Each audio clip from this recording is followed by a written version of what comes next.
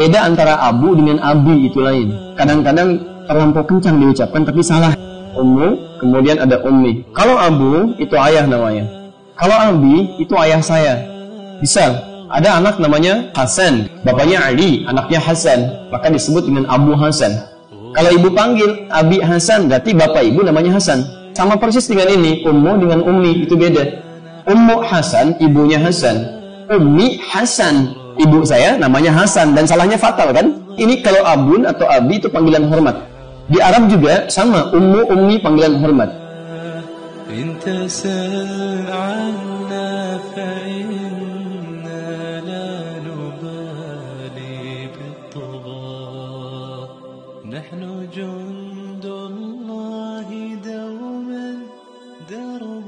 hormat.